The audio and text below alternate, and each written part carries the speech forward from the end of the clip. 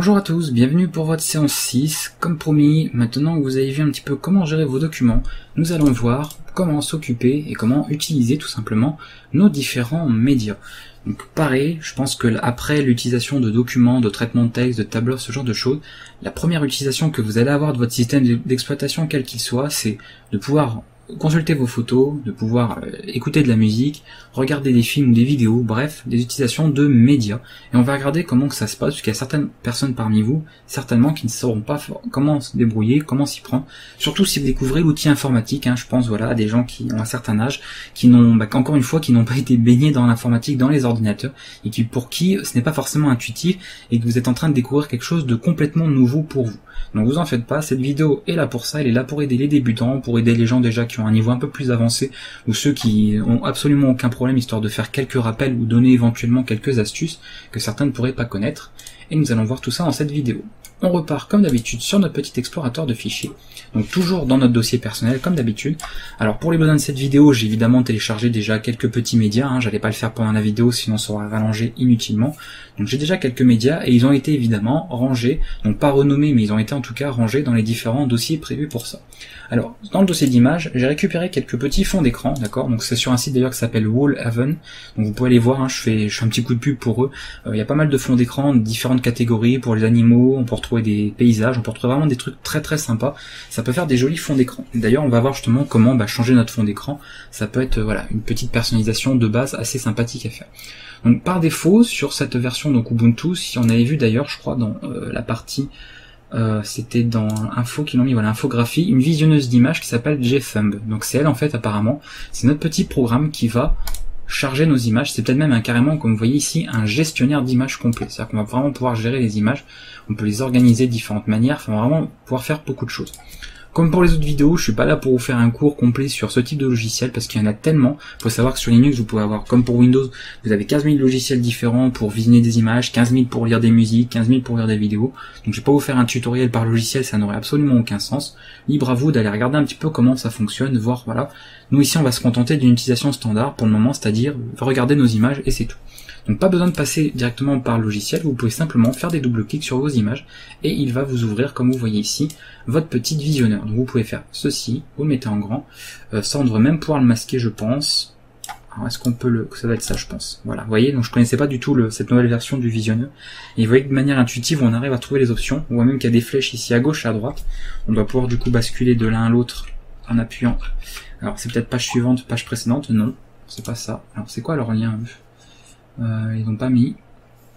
Je sais pas, ils utilisent peut-être un raccourci un particulier, mais de toute manière, quand on veut faire quelque chose de basique, nous on va fonctionner à la souris, d'accord? Parce que c'est un petit peu le but. Donc vous voyez, du coup, je peux observer mes différentes images. Voilà, ici.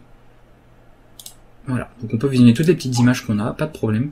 Depuis ici, vous pouvez normalement faire un clic droit et faire définir comme arrière-plan. Ça va permettre en fait de le mettre en fond d'écran. Et on peut même le faire plus rapide. C'est-à-dire que quand vous êtes ici, vous faites la même chose, vous pouvez faire un clic droit définir comme papier peint, donc là ils mettent un autre nom, mais peu importe, et ça va vous faire ceci, voilà, directement. Plutôt sympa, du coup on peut changer le fond d'écran très rapidement. Euh, vous pouvez d'ailleurs ici faire un clic droit sur le bureau directement et faire modifier l'arrière-plan, et vous allez pouvoir gérer certains paramètres, notamment l'arrière-plan quand l'écran est verrouillé. Donc ici on fait un simple clic, et vous voyez on peut donc choisir parmi certaines bibliothèques d'images qui sont fournies ici avec le système. On a ici des images à nous en fait nos images perso et on peut même carrément mettre une couleur une ça peut être sympa. Voilà, différentes petites options comme ça qui sont intéressantes et on a la même chose pour l'écran verrouillé. Voilà. Donc plutôt sympa au niveau du fond d'écran, d'accord On peut du coup changer ça. Alors on va garder le petit toutou, ce sera sympa. Voilà, pour les prochaines vidéos, on va le laisser tel quel. Donc ça c'était gestion image, hein, très simple encore une fois. Euh, après ce qu'on peut regarder éventuellement, peut-être pas mal, c'est de voir peut-être certaines choses. Est-ce qu'on a des options particulières ici au niveau du... Non. Donc on va l'ouvrir avec gthumb. Et pareil, certaines options, vous voyez que le logiciel est assez simple, donc je peux montrer certains euh, trucs rapides. C'est que vous avez comme d'habitude un menu ici, d'accord? Euh, Oui, bien sûr, pourquoi j'ai tout fermé? C'est pas grave. Et vous avez notamment certaines choses que vous pouvez faire ici. Donc là, c'est le petit outil là. Donc je vous dis, je connaissais pas du tout cette version. Je connais gthumb, mais il a pas mal changé, je vois, par rapport à avant. Donc euh, ils ont pas mal changé le système de raccourci. On voit que Budgie fonctionne complètement différemment des autres environnements. Donc là, ce petit outil, bah voyez, je l'ai trouvé directement, ça m'a, c'est intuitif en fait. On se rend compte que c'est un outil pour faire des configurations. Et là, vous avez pas mal d'options pour faire des rotations d'images, pour faire des conversions de format. Par exemple changer le format d'image, mais là on dans des choses un peu plus techniques, surtout si vous débutez, donc je vais pas en parler ici. On peut faire de la modification de la date, supprimer les métadonnées, en fait c'est des données enregistrées dans les fichiers, qui peuvent par exemple indiquer avec quel appareil photo a été pris une photo, euh, qui peuvent indiquer des données de géolocalisation, euh, la date de création du fichier, ce genre de choses. Voilà, donc c'est pas mal de, c'est pas mal de, en tout cas de des fois de supprimer les métadonnées quand on veut pas avoir des infos dessus. On peut personnaliser, donc ça c'est via des scripts, mais je vais pas entrer là-dedans, ça nous intéresse pas pour nous. Ici, ce serait tout de suite euh, beaucoup plus compliqué. Et je vois qu'on peut redimensionner les images, ça c'est plutôt sympa, qui est un outil comme ça par défaut, du coup il n'y a même pas besoin de passer par un autre logiciel. Si vous voulez changer le format, donc le format bah, c'est la taille de l'image en fait, d'accord? Donc la largeur c'est la, ce la, la valeur pardon qui s'appelle X, d'accord? Donc c'est la partie ici en abscisse, et la valeur ici pour la hauteur, c'est le y. Donc quand vous voyez quelque chose en x fois y, ben, sachez que c'est ça. Le x, ça correspond à la largeur d'un document ou d'une image ou autre, ou d'une page ou d'un écran, et le y, c'est sa hauteur. D'accord? Donc là, vous voyez qu'on peut tout changer, on peut même conserver des proportions. C'est vrai que par exemple, là, on est en 100, alors on est en pourcent. Moi, ce que je veux, c'est des pixels, voilà. Les pixels, c'est les petits cubes de l'écran, hein, pour info. Et du coup, je peux, vous voyez, changer ici. Et là, normalement, hop, si je fais un clic dedans, il me change automatiquement. Et là, regardez, en exécutant, bon là vous voyez rien à l'écran comme différence parce que l'image était déjà grande, mais en fait il a changé le format de l'écran, elle est un peu plus petite ici. Voilà. On peut choisir d'écraser l'ancien fichier, donc moi je vais annuler ce que je veux pas le faire. Du coup, très sympa. Vous voyez, on peut également faire pivoter ici avec des petits raccourcis. Euh, accepter la distorsion, bah euh, oui en fait, je m'en fous un peu, voilà. Donc ça peut être pas mal si des fois vous avez surtout je pense aux, images d'appareils photo euh, qui sont pas forcément dans le bon sens, bah vous voyez très rapidement, vous pouvez du coup les remettre à leur place, donc ça peut être sympa. D'accord Savoir comme fonctionnalité. Plutôt bien à voir. Oui. Hop. Voilà. Donc ça, on passera assez vite sur les images. Vous avez vu l'utilisation, elle est suffisamment simple. Ici, vous voyez qu'il a créé un dossier wallpaper. C'est normal quand j'utilise un dossier spécial, enfin quand je mets des fonds d'écran moi-même, euh, par défaut, beaucoup de Linux font ça. C'est que dans votre dossier image, vous voyez, il le range là où il faut. Il vous fait un dossier wallpaper, donc il veut dire fond d'écran et il met, voyez ici, une copie. C'est simplement parce que si un jour vous déplacez votre image, d'accord, qu'il n'ait pas enlevé votre fond d'écran, ce serait un petit peu embêtant, sinon il faudrait tout, tout reconfigurer. Donc là, du coup, il aura toujours accès au fond d'écran, quoi qu'il arrive, puisqu'il en a fait une copie. Donc c'est plutôt sympa. Donc ça, c'était la gestion image. On va passer maintenant aux musiques. Donc j'ai déjà téléchargé des musiques. Très simplement aussi, on va juste faire un double clic. Par défaut, on voit qu'il utilise Rhythmbox, qui est donc un lecteur audio installé par défaut sur ce système-là on va démarrer une musique avec un double clic, et vous voyez qu'il nous charge tout un gros truc, d'accord, pour écouter une petite musique. Alors je sais pas si on va l'entendre suffisamment. Ici, vous l'entendrez même d'ailleurs pas vous, puisque je crois que j'ai enlevé le son sur, euh, sur mon enregistreur de vidéo. Mais c'est pas grave, dans tous les cas, on voit que la musique, normalement, devrait pouvoir être lue. Voilà. Voilà, donc elle est chargée, donc on voit qu'il l'a vu d'ailleurs. Vous voyez, vous avez fait une petite notif. Je sais pas si vous allez l'entendre puisque je vous dis dans le dans mon système j'utilise enfin un logiciel pour enregistrer les vidéos. Euh, je crois que j'ai désactivé le son du, du système, mais peu importe. En tout cas, moi je peux vous dire que la musique je l'entends donc elle fonctionne. Donc ça permet du coup de ranger ces pistes, vous allez pouvoir les renommer, vous allez pouvoir les trier, euh, ça peut même sur certains logiciels, alors je sais pas si Rhythmog le fait encore, on peut gérer tout ce qui est sous-titres par exemple, euh, on peut récupérer pas mal de fichiers, enfin il y a vraiment des trucs sympas, c'est vraiment un espèce de d'audiothèque en fait, qui permet de gérer un peu tout ça. On peut faire répéter une musique plusieurs fois, d'accord, la faire tourner en boucle. On peut choisir un ordre, une lecture aléatoire en fait dans votre liste, euh, votre playlist, parce que vous pouvez créer aussi des playlists. C'est-à-dire vous faites un espèce de dossier avec des, vous mettez plusieurs musiques dedans. Par exemple, vous mettez musique douce et quand vous avez envie d'écouter de la musique calme, vous démarrez votre playlist musique douce, vous mettez en aléatoire et ça vous passe les musiques comme ça au hasard. Donc on peut faire pas mal de petites choses. Donc là, on a vraiment les morceaux, vous voyez directement, et catégories, c'est pour gérer des playlists. Donc pareil, je vais pas vous faire un cours sur ce logiciel, mais sachez qu'en général, les logiciels d'audiotech, donc tout ce qui est gestion de musique, permettent de faire ce genre de choses, donc c'est plutôt sympa. Les boutons, je pense que bon, c'est comme pour tout appareil, hein, même si vous ne connaissez pas l'informatique, vous connaissez ça dans votre voiture ou sur d'autres appareils. Euh, les boutons de pause, de changement de musique, bref, c'est des choses, hein, ça c'est des symboles qu'on retrouve partout, hein, sur les chaînes IFI, sur des chaînes audio surtout. Donc je pense que là, là-dessus, tout le monde est familiarisé avec ça, donc je vais pas perdre de temps là-dessus. Voilà pour la musique.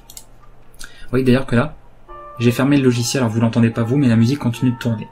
Donc je dois avoir Rhythmbox qui continue de tourner, voilà. Donc, vous voyez, pour vraiment quitter en fait avec euh, ce logiciel en tout cas, il faut vraiment appuyer sur la croix pour tout couper. Et ça coupe pas ça non plus, donc je vais faire ça directement. Voilà. Et là effectivement, ça a été coupé. Ok, donc ça c'est bon. On continue maintenant et on termine surtout, parce que je vous dis c'est assez rapide comme vidéo encore une fois, avec la partie vidéo. Vous voyez d'ailleurs, si je reste appuyé, je viens de le voir, regardez, il affiche le chemin. Donc vous avez le slash, si vous voyez sur le chemin là qui s'affiche. Hein. Slash, donc c'est, je vous avais dit le répertoire racine, mais ça on en viendra plus en détail là-dessus quand on fera des choses beaucoup plus avancées sur Linux. Le home, c'est le fameux répertoire des sessions. Jachampagne, bah, c'est mon nom de session. Et vous voyez qu'après, slash vidéo. Donc il vous montre vraiment l'endroit en fait où ça se trouve. Donc on a ici un fichier donc format MKV, donc c'est un format en fait de, de, vidéo en fait euh, en très bonne qualité, en HD voire Full HD. Donc j'ai téléchargé ça, donc vous pouvez d'ailleurs le, le, regarder, c'est un court métrage fait par la fondation Blender, ceux qui ont créé le logiciel de 3D Blender, qui avait fait ce petit court métrage très sympa. Donc nous on va l'ouvrir, et voilà. Et vous voyez que par défaut vous avez un petit lecteur, alors ici c'est qui le lecteur? Euh... C'est Rhythmbox aussi qui ouvre ça? Non, c'est pas lui. C'est Gnome MP, voilà, Media Player Vidéo. Voilà. Il me semblait, hein, ce que j'ai dire, Greenbox, c'est vraiment de la musique. Donc là, bon, vous, vous l'entendez pas, mais moi, j'ai du son aussi. Donc, comme beaucoup de lecteurs, un double clic, normalement, voilà, active l'affichage en plein écran. Voilà. Alors, c'est pas forcément, peut-être que vous, vous verrez que c'est pas très fluide la vidéo, parce que je suis en train d'enregistrer, en fait, dans une machine virtuelle. Mais de mon côté, c'est fluide, hein, au niveau de l'affichage, tout ça. Donc on peut avancer comme vous voyez dans la vidéo. Je vous montre pas tous, que ceux qui n'ont pas vu le petit court métrage, je vais pas vous spoiler. C'est plutôt sympa. Ah, on va rester là. Donc vous pouvez mettre sur pause, pareil, comme n'importe quoi, mettre sur stop, avancer un petit peu. Bref, il y a pas mal de petites choses. Ici, bon, on peut simplement choisir d'ouvrir un autre fichier. Là, on peut passer en mode plein écran. Et là, on a toujours, vous voyez ces petites barres ici, c'est un petit peu les menus. Dans certains cas, pardon, vous pouvez afficher des sous-titres, d'accord, quand il y en a. Donc là, apparemment, je sais pas si on a. Euh, non, il y en a pas, voilà c'est si jamais un accent sont présents. Après, on peut également en charger un externe, donc si vous avez téléchargé vous-même vos sous-titres. Donc il gère parfaitement le sous-titre par défaut sur ce logiciel, ou même sur d'autres en général. Vous avez tout ce qu'il faut. Voilà, donc lecture, lecture très très sympa de vos vidéos. Pareil, hein, comme ce qu'on a vu précédemment, n'hésitez pas à bien les ranger hein, dans des dossiers sous-dossiers pour trier vos vidéos, d'accord? Une vidéo peut-être pour vos films, une vidéo pour vos vidéos enregistrées bah, depuis un caméscope, si vous avez des vidéos humoristiques, enfin, n'hésitez pas vraiment à prendre l'habitude dès le départ, tant que vous n'avez pas grand-chose, à bien trier, bien ranger, euh, catégoriser vos différents documents pour vous y retrouver, c'est beaucoup plus pratique. Voilà. Alors comme pour n'importe quel fichier, on peut également compresser d'accord un dossier vidéo. Vous voyez, compresser ça fonctionne. Même si la compression ne sera pas énorme, mais sachez que c'est possible. On peut vraiment compresser absolument n'importe quoi comme document. Que ce soit des vidéos, des musiques, des photos, des documents texte, ça fonctionnera pour n'importe quoi. Voilà, donc ça c'était l'utilisation de médias. Encore une fois, je suis allé assez vite parce que c'était très très simple. Vous avez vu que vous avez pu comprendre sur cette formation, au début on commence par des choses très basiques, c'est-à-dire utilisation standard. C'est qu'est-ce qu'un utilisateur va vouloir faire en premier sur un PC, d'accord, sur son système. Et eh bien des choses simples comme euh, écrire dans des documents, euh, regarder des médias, etc. Je pense que pour la suite, nous verrons tout ce qui est euh, navigation internet et euh, téléchargement de fichiers. D'accord? Je pense que c'est un bon point. Parce que là, on rentre déjà dans une petite étape un peu plus compliquée. Parce que je sais qu'il y a beaucoup de personnes qui galèrent à utiliser un navigateur internet. Alors, faut surtout pas leur dire de télécharger un fichier sur leur PC. Parce que là, ils seraient complètement perdus. Donc, ce sera une prochaine vidéo qui va être vraiment très intéressante. Là, on quitte vraiment les vidéos, on va dire, au niveau archi basique. Là, on arrive déjà un petit poil compliqué au-dessus. Euh, surtout pour ceux qui découvrent l'outil informatique tout juste maintenant. Voilà, je vous dis à bientôt pour la prochaine séance, donc ce sera la séance 7, hein, si je me trompe pas dans les numéros. Pour la séance 7, donc nous parlerons de navigation internet et on verra euh, tout ce qui concerne le téléchargement de fichiers directement sur votre système. Voilà, à bientôt et à la prochaine.